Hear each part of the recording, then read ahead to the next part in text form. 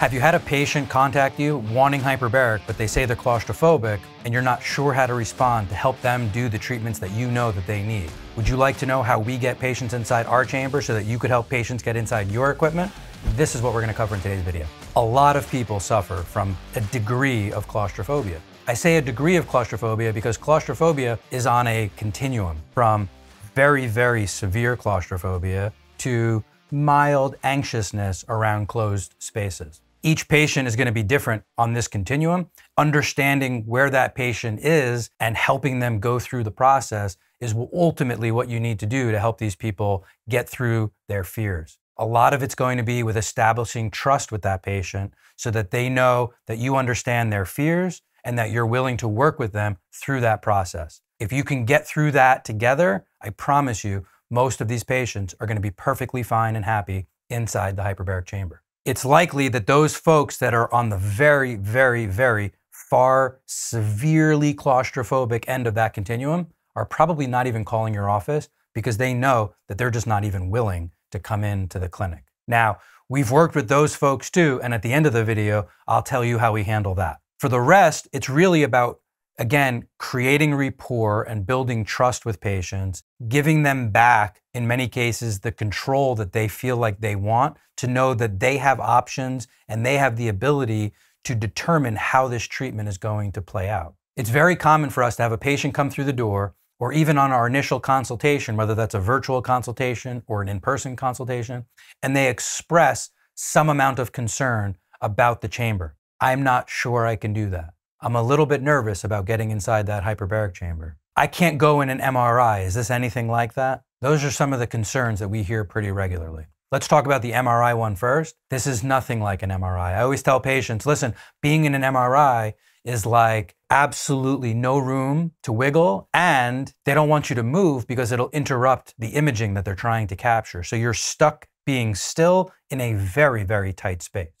If we're not next to a chamber, oftentimes what I'll have them do is just stand in a doorway with their back against one side of the frame of the door, looking across to the other side of the frame of the door, and let them know that that's about as far away as the chamber will be from their face in many cases. In some cases, it's a little less. In some cases, it's a little bit more. But there's also no barriers around them. So when they stand in the door frame, looking at the, the door frame across, it actually feels like it's very comfortable and far away. And that starts to lower the anxiety, I believe, pretty quickly. I think it's important to note that your response to their comments are really going to drive the conversation. And this is true for you and true for your staff. So, understanding this and then again having this conversation with your staff is really important. Imagine you have a patient that walks in and says, Hey, I'd like to try hyperbaric, but I'm a little bit nervous about going inside the chamber. You know, is it tiny? Is it small? How does it feel inside there? And your staff says something like, Yeah, I wouldn't go in there. I'm afraid of that thing, but your appointment's at 10. Are you ready to go? How's that going to fly, right? It's not going to go over well. And so I think it's really important that everybody in the office, anybody that's patient facing, has experience with the chamber and has a level of comfort with the chamber, has done sessions in the chamber. And if they're not willing, I'm not telling you you have to fire that person, but then they should not be the patient facing person to handle hyperbaric conversations. It's important that everybody that's handling direct hyperbaric conversations has direct experience with the chamber and has a level of comfort with the equipment and the process and the experience so that they can communicate that effectively to those patients. So if a patient comes in and they express some degree of concern with regard to the space available inside the chamber and their anxiety or fear about going inside, it's important to just take that in and say, believe it or not, we hear that pretty often. And don't worry, basically almost everybody that feels that way, once they get inside the chamber, they see how much space they have, they see how comfortable it is, they see how relaxed they can be. Very quickly, they're very able and willing to complete their sessions. Something very simple like that, again, is just bringing down that anxiety, bringing down that fear, helping that patient be more comfortable. You're speaking their language, you're building trust with them right away. Next, they go into the treatment room or the chamber area, and the technicians should give them a nice introduction, give them an orientation to what the chambers look like, what the experience is going to be. It's important that if the front desk hears that they're claustrophobic on some level, that your staff are able to relay that to the technician so the technician knows, okay, we can't go fast, we can't pressure or push this person faster than their comfort level. So now everybody's on the same page. Now that technician has the opportunity to show them the chamber, open the door or hold it open or slide out the gurney, depending on the equipment that you're using, and really take a slow orientation to what to expect and what the process of the chamber experience is going to be. Look for signs of discomfort. Use words like spacious, comfortable, or like open and climb in or slide in. Especially if you use a gurney, people tend to say the words, you're going to go on the gurney and we're going to push you into the chamber. People don't like to be pushed, especially people that are nervous. So we can't say, climb on the gurney, I'm going to push you in, but the gurney slides into the chamber. Do you understand? Words are very powerful. And when you're talking about somebody who's very nervous or anxious, each word you choose to use is critical. You're going to want to make a very detailed script for how you want this engagement to go. And you want your staff, technicians and front desk staff, to practice this because this is critical. Once we give the patient the orientation on the equipment and what to expect, we also let them know, at least for our equipment, they could operate the equipment from inside the chamber the same way we can operate the equipment from outside the chamber. So there's a level of control that we're giving back to them, saying, listen, if for some reason you got very nervous and you panicked, you would close this valve, open this valve, and then turn this knob. And then I say, but please don't do that. Our technicians love to take care of our patients. They want to do what's best for you. And as long as you communicate with them that you're nervous and you want to get out, they will get you out as quickly and as safely as possible. But what we've done is we said, listen, if you want to, you can. We don't say, you can't do that, right? That's taking that control away from them. If you'd like to, or if you feel the need to, you can turn this, open this, and turn this. However, our technicians are trained to help people just like you, and they love to do their job. And so as long as you're communicating with them you just let them know that you're nervous and you want to come out. We will get you out as quickly and as safely as humanly possible. Again, these are the details of words that really need to go into the process.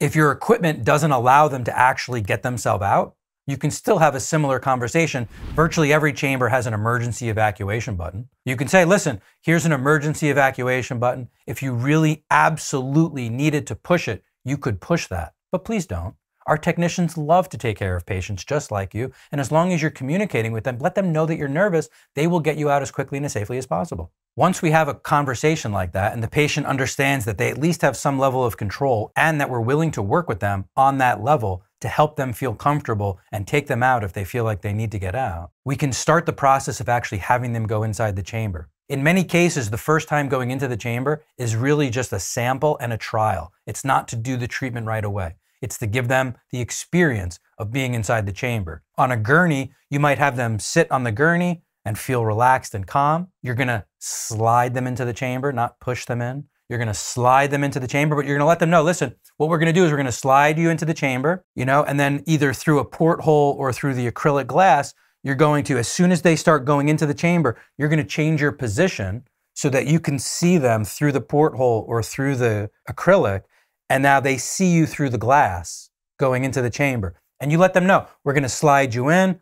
I'm going to wave at you, give you a good okay sign. We're going to slide you back out and just talk about how that experience went. If it's a different type of chamber, maybe they're going to climb in or maybe they're going to step into the chamber. If it's a soft chamber, they're stepping into the chamber. We hold that chamber wide open as they lay down and we keep the conversation going with that zipper or the door wide open and we communicate that way. And while that's open, I'll then stand over the window and wave at them through the window while holding the, the chamber still open. But I draw their attention to the window at the top so that they see how it's going to look once the chamber is going to be closed. And I explain all that and let them know that that's the process. Then I come back to the zipper and I say, Is that okay?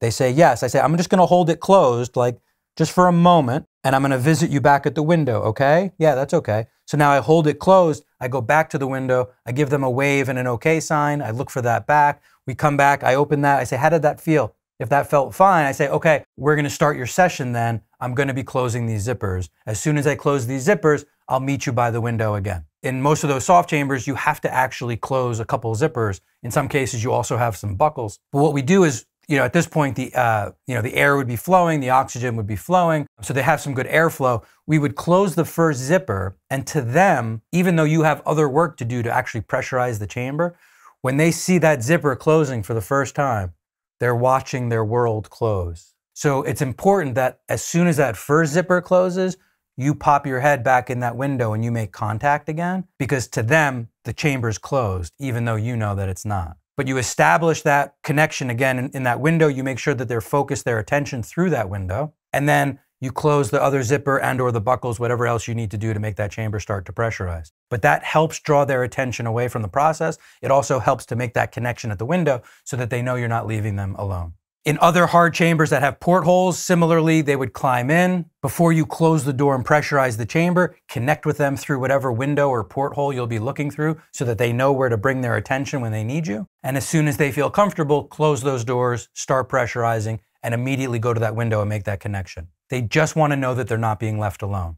At that point, if it's their first session, the only other thing that we do differently is we pressurize very slowly. And the reason is in the first five or 10 minutes, if they're going to need to bail, it's going to be in that time. And so I don't want them to be overly pressurized, meaning if they need to bail from this session, it's going to take longer to get them out. So we just pressurize the first few minutes very slowly, only so if they feel that need and they get that panic and they want to get out, we can get them out quickly and safely without too much pressure, without too much pressure change in their ears, and they see how quickly we can manipulate the chamber if we need to. If they make it three to five minutes, eight minutes, like they're fine. They're likely going to stay at that point. And so we would finish the pressurization process and assume we're going to get through that session. Under all circumstances, with every session, with every patient, we should always be periodically checking on them through either a porthole window or through the acrylic glass. You're always wanting to keep an eye on patients, but this patient, especially on their first session, first two or three sessions, you really want to make that a frequent visit.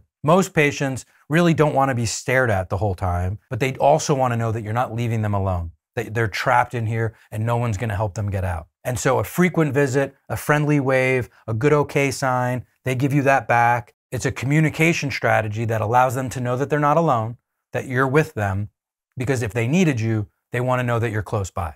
Now, like I said, there is that extreme case, right? This, this other person who knows they need to get in there for whatever reason, they need hyperbaric treatments. They are very, very fearful. And we can't start where we started those other patients. In those cases, we have literally gone as slow as this. We have them come in on a Monday, no appointment, just come in, come to the hyperbaric section of the office, take a look around, maybe talk to a patient, talk to a technician, look at the equipment, leave and go home. Come back on Tuesday and Wednesday. Come back in, say hello, maybe open the chamber, take a look inside. If they're comfortable, step inside or climb inside, but keep the doors open or the zippers open or the, the gurney out. Relax for maybe a minute or two in the chamber and then leave come back in another day or two, come in, open the chamber, look around, get in the chamber, maybe close the chamber or close the door of the chamber on their own volition. Allow them to do it. Open the door, don't turn anything on, let them leave. Come back again. This time we're going to close it and just pressurize it for 30 seconds.